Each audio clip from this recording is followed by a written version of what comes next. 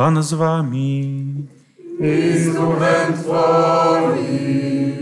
Słowo Ewangelii według świętego Jana. Chwała Tobie, Panie. Jezus powiedział do swoich uczniów: Jeszcze chwila, a nie będziecie mnie widzieć, i znowu chwila, a ujrzycie mnie. Wówczas niektórzy z jego uczniów mówili między sobą: Cóż to znaczy, co nam mówi chwila, a nie będziecie mnie widzieć, i znowu chwila, a ujrzycie mnie, oraz idę do Ojca? Mówili więc: Cóż znaczy ta chwila, o której mówi? Nie rozumiemy tego, co powiada. Jezus poznał, że chcieli go pytać, i rzekł do nich: Pytacie się jeden drugiego o to, że powiedziałem: Chwila, a nie będziecie mnie widzieć, i znowu chwila, a ujrzycie mnie?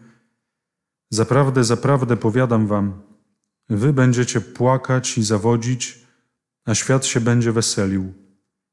Wy będziecie się smucić, ale smutek wasz przemieni się w radość. Oto słowo Pańskie.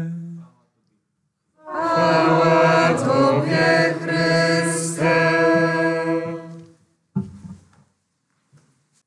Przyznam się że trochę, że nie mam pomysłu na te kazania czwartkowe. Nie, bo sobie tak jakoś zrobiłem rachunek sumienia i wiem, że różne są głosy co do tych historii biblijnych ze Starego Testamentu i e, no właśnie, na pewno bym chciał podtrzymać takie kazania biblijne. E, Natomiast ostatnio tak zacząłem o Marku, bo była, kiedy miałem tutaj kazanie w czwartek, była, e, było uroczyste święto Marka Ewangelisty. Tak sobie pomyślałem, może by to poszerzyć, nie tylko niektórych to zmęczyło, że te właśnie historie cały czas ze Starego Testamentu. No, żeby jakoś odpowiedzieć może na oczekiwania. Wiem, że wszystkim nie dogodzę i to też nie o to mi chodzi, ale, e, ale może tak. I tak sobie pomyślałem o tym Marku, może pójść dalej, po prostu kolejne kazania, te najbliższe, bo nie zostało ich dużo do końca roku, y, powiedzieć o pozostałych ewangelistach. Nie? Był Marek, dzisiaj usłyszeliśmy fragment Ewangelii Jana, więc o nim słów parę. Y, o Marku, kto, kto był wtedy, to pamięta, że powiedziane jest bardzo niedużo, on się pojawia tylko w jednej scenie, e, takiej dość tragikomicznej, w kontekście śmierci Pana Jezusa, gdzieś tam biegnie młodzieniec w prześcieradło ubrany i wyrzuca. Tu jest inaczej, tu e, możemy bardzo dużo wskazać fragmentów i to znamy dobrze. Mm, myślę, te teksty, wiele scen z Jana udziałem. E, no, w większości te rzeczy, które powiem, będą pewną jakąś oczywistością, ale może i dobrze, żeby, ale żeby sobie jakoś to jakoś usystematyzować i e, może ucieszyć się z tego, że ja to wszystko wiem, proszę mnie tu nie, nie zanudzać. Więc napisał Ewangelię, napisał też trzy listy Jan i jeszcze na to dzieło Janowe składa się też Apokalipsa. To jest e, wszystko jego autorstwa. Mm, to syn Zebedeusza i Salome. Salome pojawia się w jednej scenie, kiedy prosi dla swoich synów, dla Jana i Jakuba, e, chce załatwić u Pana Jezusa jakieś dobre miejsce e, w niebie. No, pamiętamy, jak się to kończy. Miał brata, wspomnianego Jakuba Większego, który też był apostołem. I tak sobie pomyślałem o tym, chcąc to odnieść, w ogóle ten kontekst rodzinny jego do e, wspólnot kościelnych, że to czasem jest trudne mieć starszego brata. Ja nie mam, ja mam dwie młodsze siostry, ale mam kilka przykładów tu z duszpasterstwa ludzi, którzy wchodzą w duszpasterstwo, e, a ich rodzeństwo starsze było tu już kiedyś, że jest trudno nie przebić się. Nie, że na początku jest się kojarzonym dlatego, że jest się, e, nie wiem, bratem Maćka, siostrą Krysi, nie wiem, cokolwiek. Nie, I że to jest trudne, tak zacząć po swojemu. Niektórzy się frustrują. Chciałbym być w końcu kojarzony z tego, kim jestem, a nie kim jest mój brat, nie czy moja siostra. Tak, więc fajnie mieć oczywiście rodzinę, ale czasem to może być tak, że, e, że musimy trochę e, się postarać, żeby się jakoś tak e, pokazać jako, jako my. Mhm. Pomagał Jan ojcu, który był rybakiem, to wszystko wiemy. I był uczniem najpierw Jana Chrzciciela, a później na jego wskazanie mm, Jan wskazał Mesjasza i ten został uczniem Pana Jezusa. I to też myślę taka nauka już z samego faktu tego, że miał Jana Chrzciciela za mistrza, później poszedł do Pana Jezusa, że trzeba się w życiu rozwijać. Nie? I y, przychodzi taki moment, że trzeba zacząć nowy etap. Nie? Że, byłem licealistą, jestem studentem, zaraz będę wiem, narzeczonym albo będę mężatką I trzeba też jakoś mm, mistrzów swoich dostosowywać do etapu, w którym się jest. Dobrze mieć mistrza, który nie uważa się za najważniejszego, ale który potrafi ustąpić, który w swoim czasie mm, potrafi powiedzieć: Ja już ci więcej nie pomogę, nie poprowadzę ci więcej. Pora pójść do kogoś innego. Oto baranek Boży. Idź tam, tam jest lepsza wspólnota, dostosowana bardziej teraz na potrzeby, jakie masz, masz teraz. Nie? I można to też odbić, że źle by było spotkać takiego mistrza w cudzysłowie, który no, ściąga tak do siebie, tak skleja. Nie? I mamy niestety w Kościele przykłady takich liderów, nie? że e, jest osoba zaangażowana, e, nie? bo pomaga e, bardzo, a, a lider jest jakiś taki zaborczy i później się okazuje z czasem, że osoba zaniedbuje swoje życie i zwykłe obowiązki, bo tak się bardzo angażuje w piękne dzieła, nie? ale kosztem swojego życia. Nie, to, to powinna się wtedy oczywiście nam lampka jakaś palić, że dobry mistrz wie, kiedy ze sceny zejść i ustąpić miejsca. Jan to jest najmłodszy apostoł. Najmłodszy z całej tej palety uczniów, y, tych takich najważniejszych uczniów. Ksiądz Rosiek, biblista, tak szacuje, podaje takie te, teorie, że mógł mieć nawet 12-13 lat, kiedy Chrystus umierał na krzyżu. I można podać kilka argumentów, że wchodzi na dziedziniec, gdy Piotr nie może wejść, że, że zawsze chodził z Jakubem, był starszym bratem, którego pilnował e, i że jest bezpieczny pod krzyżem, dlatego jest uczniem, który wytrwał, bo trochę było łatwiej. To nie ma jakiegoś stuprocentowego potwierdzenia w Ewangeliach tych, e, tych tez, ale no, ksiądz Rosik to jest poważny biblista, takie przytacza, więc mogło tak być. No i przy ostatniej wieczerzy był najbliżej Pana Jezusa, jest określany jako umiłowany uczeń i leżał na piersi Pana Jezusa. Nie? Tak wyobrażamy, nie? że leżało się tak na boku przy stole, który był niski, nie taki stół, jaki my znamy. No i najbliżej, także jego głowa była mm, blisko piersi Pana Jezusa, nie? Że, że mógł się wsłuchać w rytm bicia tego, tego serca. Mm, pada też takie określenie co do Jana i jego brata, że to są synowie gromu. Wpadają na taki pomysł, że no tam, reakcja Samarytan się nie spodobała, no to Panie Jezu, ześlij ogień, niech to wszystko spłonie. Więc bywają porywczy, e, mają coś w sobie takiego. E, no i to może być dobra taka gorliwość, nie tylko żeby to dobrze ukierunkować. Ogień może być bardzo dobry, ale żeby go dobrze okiełznać, nie? żeby on się nie wymknął spod kontroli, można do pożaru doprowadzić.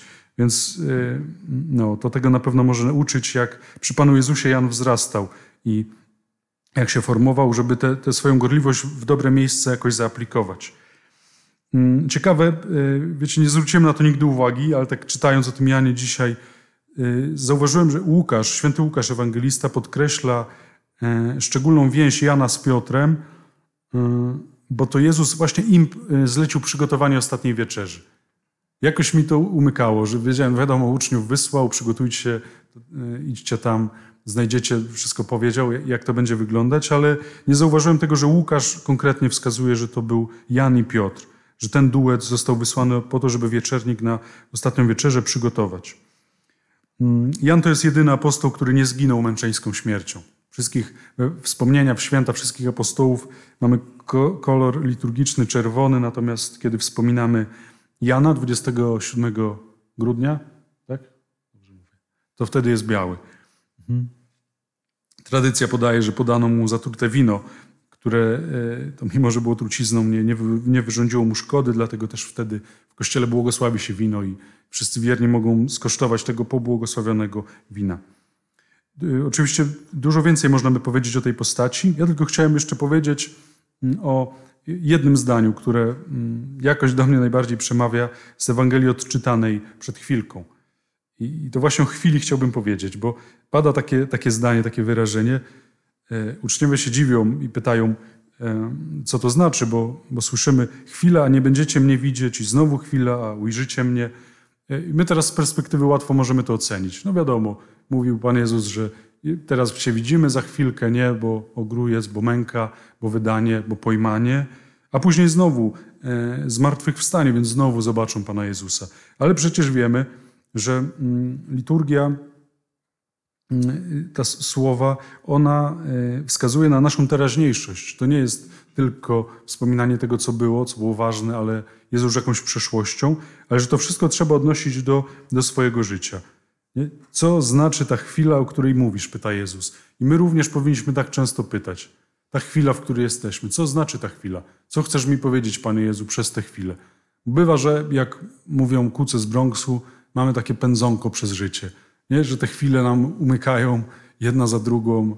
Nie? Ja mam raczej osobiście tendencję odwrotną. Nie? Ja, ja, ja tak lubię coś w głowie gdzieś analizować, rozdrapywać. To męczy, to nie jest gdzieś, gdzieś łatwe.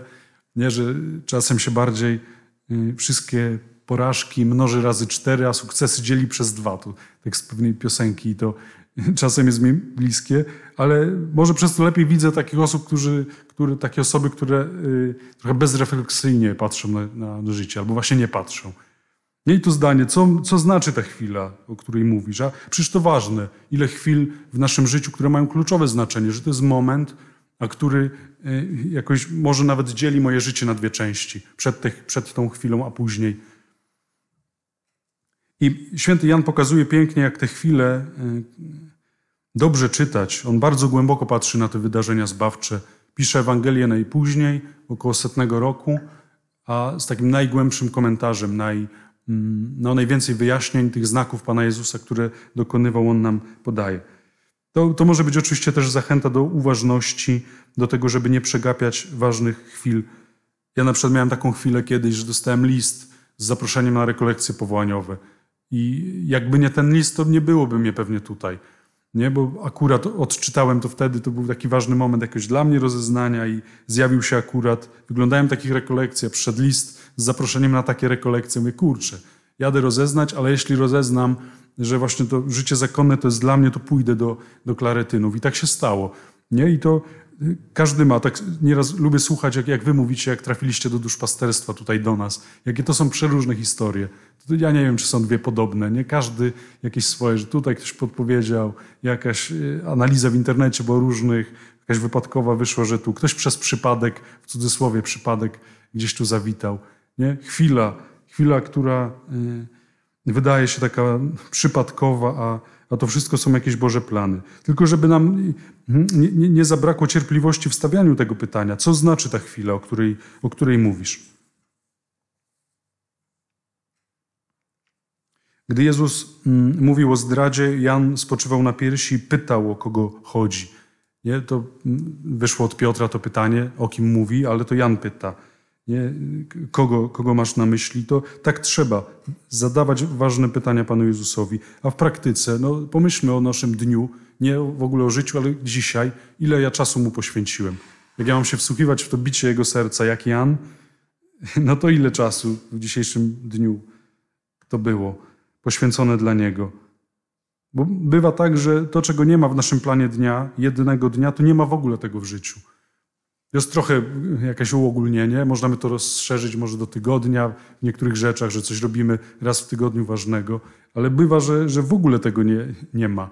Że my to mamy gdzieś w głowie, że to jest ważne, ale, ale w praktyce, nie? Ile czasu wsłuchiwałeś się, wsłuchiwałaś się w bicie serca Pana Jezusa, który chce być blisko i jest blisko.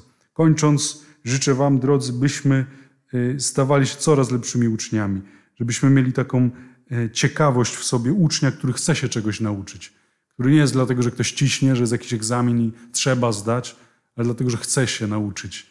No, tacy uczniowie są na, na, naprawdę bardzo dobrze rokujący i obyśmy tacy byli, jeśli chodzi o przeżywanie naszej wiary, budowanie relacji z Chrystusem.